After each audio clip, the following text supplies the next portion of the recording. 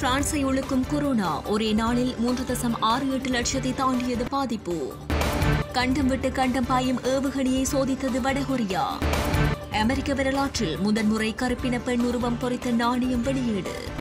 பிரித்தானியாவை தாக்கி வரும் கனமழை இருபத்தொரு வெள்ள அபாய எச்சரிக்கை அறிவிப்பு.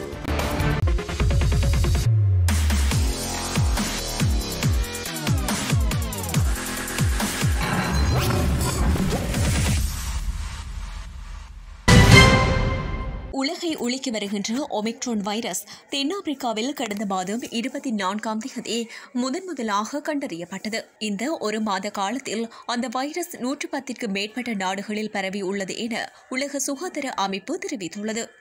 ஐரோப்பாவிலும் ஆப்பிரிக்காவிலும் அமெரிக்காவிலும் கொரோனா தொற்று அதிகரிக்க இந்த ஒமிக்ரோன் திரிவுதான் காரணம் என்று உலக சுகாதார அமைப்பு தெரிவித்துள்ளது. உலகளவில் கொரோனா பாதிப்பில் முதலிடத்தில் அமெரிக்காவும் இரண்டாம் இடத்தில் இந்தியாவும் மூன்றாவது இடத்தில் பிரேசிலும் உள்ளன. கொரோனாவால் அதிகம் பாதிக்கப்பட்ட நாடு வரிசையில் பிரான்ஸ் ஐந்தாவது இடத்தில் உள்ளது. இந்நிலையில் பிரான்ஸ் நாட்டில் கடந்த இருபத்தி நான்கு மணி நேரத்தில் மூன்று தசம் ஆறு எட்டு லட்சத்திற்கும் அதிகமானோருக்கு கொரோனா பாதிப்பு ஏற்பட்டுள்ளது.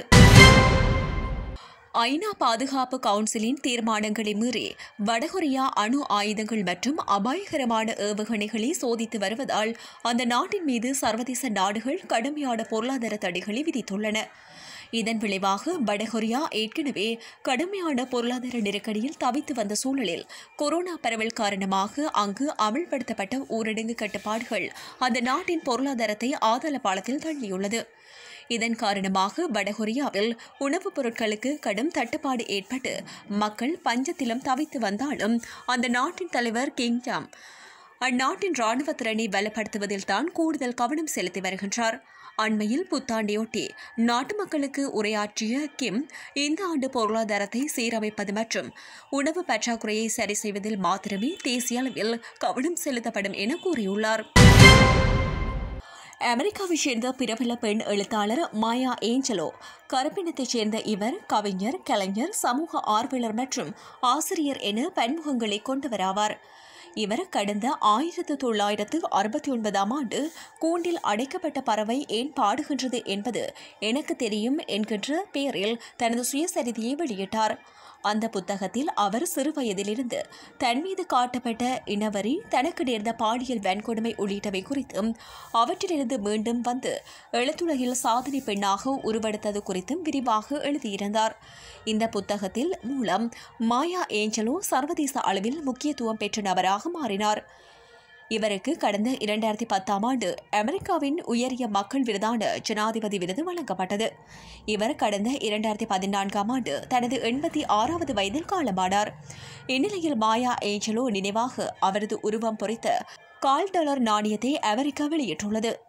அமெரிக்க வரலாற்றில் கருப்பின பெண் ஒருவரின் உருவம் பொறித்த நாணயம் வெளியிடுவது இதுவே முதல் முறையாகும். பிரித்தானியா முழுவதும் கடும் மழை மற்றும் பனிப்பொழிவு பெய்து வரும் காரணத்தினால் நாடு முழுவதும் மொத்தமாக இருபத்தொரு வெள்ள எச்சரிக்கை விடுக்கப்பட்டுள்ளன. சனிக்கிழமை அன்று பெய்த கனமழையால் இங்கிலாந்து மற்றும் வேல்ஸ் முழுவதும் மொத்தம் இருபத்தொரு வெள்ள அபாய எச்சரிக்கை விடுக்கப்பட்டுள்ளது. சனிக்கிழமை அன்று மேற்கு ஸ்கொட்லாந்தில் நாற்பத்தாறு மில்லிமீட்டர் மழை பெய்தது. மழை பெய்யும் என்று மேலும் எதிர்பார்க்கப்படுகின்றது. மேலும் இங்கிலாந்து முழுவதும் மொத்தம் பதினெட்டு வெள்ள எச்சரிக்கைகள் போடப்பட்டுள்ளன. இன்று இங்கிலாந்து மற்றும் வேல்ஸின் சில பகுதிகளில் நிலம் சாலைகள் மற்றும் சில வீடுகள் வெள்ளத்தில் மூழ்கலாம் மற்றும் பயண இடையூறு ஏற்படலாம் என என்விரான்மெண்ட் ஏஜென்ட்ஸ் தெரிவித்துள்ளது.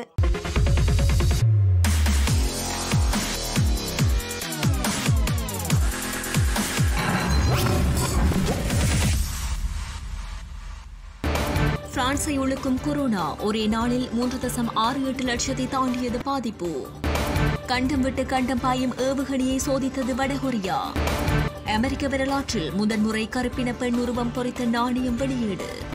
பிரித்தானியாவை தாக்கி வரும் கனமழை இருபத்தொரு வெள்ள அபாய எச்சரிக்கை அறிவிப்பு.